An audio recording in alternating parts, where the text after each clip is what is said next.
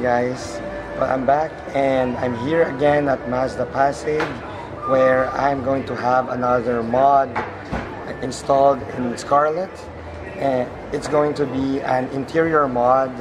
I'm here to have uh, a set of aluminum Mazdaspeed uh, pedals uh, installed in, in my car. So I'm going to show you guys what it's all about. First of all, uh, I, I do ap apologize for my voice. You see, I came down with a, with a pretty bad case of flu last week and because of that I lost my voice. So that's why my I have this really rumbly, rough, gravelly voice that I'm using to vlog right now. But uh, since this uh, mod install has been scheduled already with Mazda Classic, I really don't have much of a choice but you know to continue vlogging about this so that you guys uh, can see what it's all about. I mean, you're not really subscribing to my channel anyway because of my lovely bedroom voice, right? You know, enough enough about my voice, enough about this, you know, uh, really bad bad voice. enough of that and let's head straight to the mod to the installation of the Mazdaspeed pedals. Let's go guys. Now some of you might be wondering why most of my uh, initial mods being done on Scarlett are mostly cosmetic or interior mods. Now there is a reason behind that. I still haven't uh, really driven Scarlett uh, as much as I want to. Um, She's only just crossed 2,000 kilometers as of this video and I haven't taken her out uh, to the track yet so I have no idea what kind of direction I want to take her when it comes to suspension, braking and performance mods or engine mods. Since you know Miatas are very nice cars to customize and to modify, uh, I've been experiencing that itch ever since I bought Scarlett, since I bought my car. And in order for me to scratch that itch, what I've been doing is I've been, you know, doing a little bit of mods here and there, like you saw the carbon Miata, quilted the floor mats, you saw the, the installation and fabrication of my carbon fiber rear spoiler, uh, and other tiny mods that will kind of scratch that itch uh, that I have to modify. And uh, until I would know my direction, where I'm going to take Scarlett in terms of performance, whether she's going to be an all-out track car or maybe, you know, a high-performance uh, weekend cruiser, I have no idea yet what I really want to do with her. For the meantime, these are the small mods I've been doing, just a bunch of cosmetic, interior, and minor mods just to satisfy my itch. So that's the reason why. Now, if you're all excited to see uh, what kind of performance mods I'd be doing to, with Scarlett uh, in the future, it wouldn't hurt to, you know, uh, subscribe to my channel, hit that subscribe button, uh, like my videos.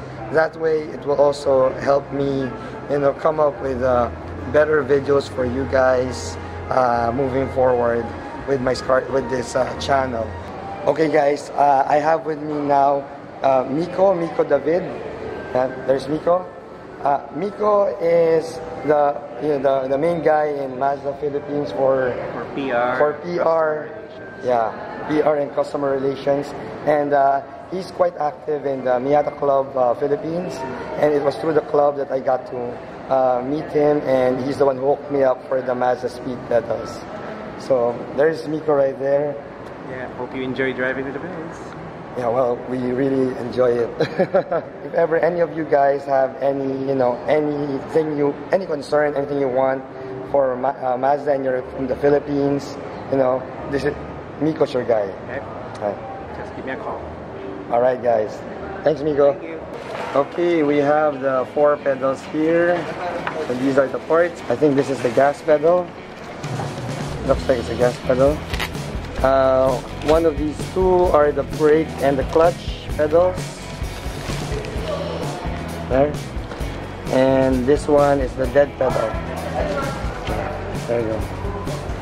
So as far as I know, this will require some drilling. This will require some drilling as well. I think two, two screws. and these ones will just require uh, you know uh, the stock pedals to be removed and replaced these babies area is gonna be prepared now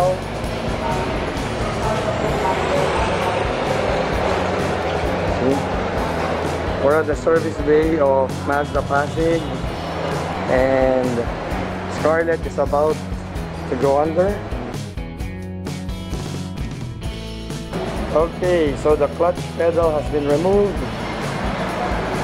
And that's the first one going in. Clutch pedal uh, being installed right now. See, as you can see, uh, the clutch pedal is just slip on over a metal pedal. It's a pretty straightforward removal. Glad to have the professionals do it for me here at Mazda Pasig. Okay, pedal number one, the clutch pedal is already installed. There you go. See that huge difference between the stock pedal and the Mazdaspeed pedal. It's got more bling now, guys.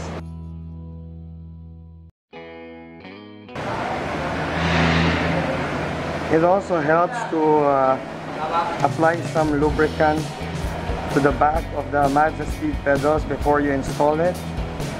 So in this case, I think they're using this kind of um, rust penetrant. I have a feeling it's like a WD-40.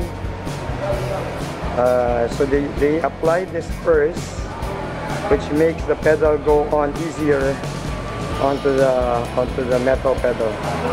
Holy cow, look at that. We now have a clutch and a brake pedal there Guys, the, the brake pedal took like less than a minute to install because of that lubricant.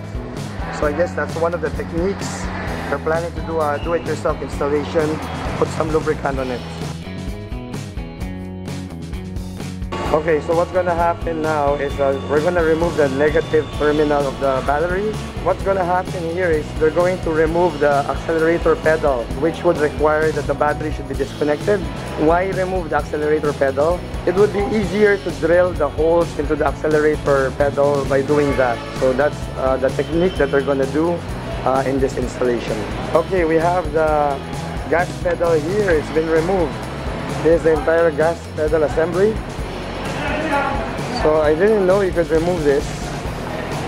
Apparently it's just a couple of uh, couple of bolts here, here and here. Uh, I don't see any other bolt and you just remove uh, this thing here. This is for the uh, electric, I think, electric component. So by removing the gas pedal, it's now easier to uh, drill the holes for the for here. It's now easier to just drill the holes here and then install the entire thing with this thing already uh, in place. There you have it. Scarlett without a gas pedal. And you can see it just connects uh, to that that thing there this one. Uh, wow. This is a new approach. Smile, you're on camera.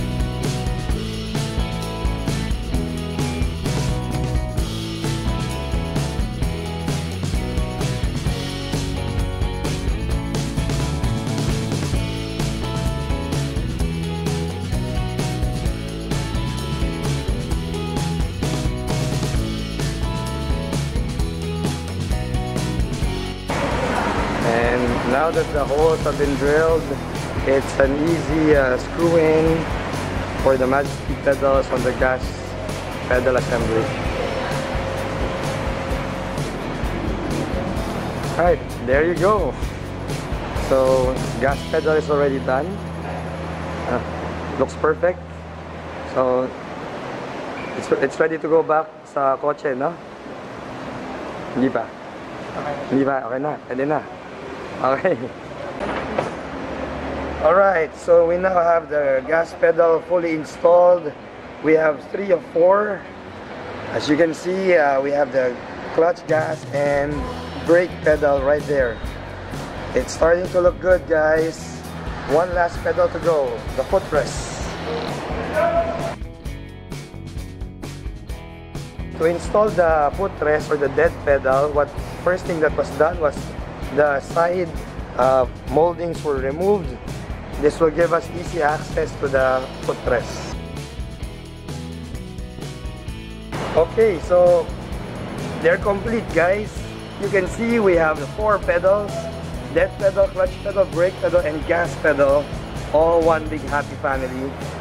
So now we're going to uh, install back the plastic moldings and the carpets, and that's a wrap. My Mazdaspeed aluminum pedals now fully installed. Looks fantastic with the carbon Miata quilted floor mats. All in all, the installation took less than an hour. It's a big advantage that it's the service uh, people here in Mazda Pasig are the ones who did it. So special thanks to Mark who did the who did the installation process. They look OEM guys. What nice bling. I love the bling. Yeah. So that wraps up another Scarlett Miata mods episode. If you like to follow what I do with Scarlett, just subscribe to my channel. And uh, if you like the video, hit that thumbs up button guys. See you next time. Bye.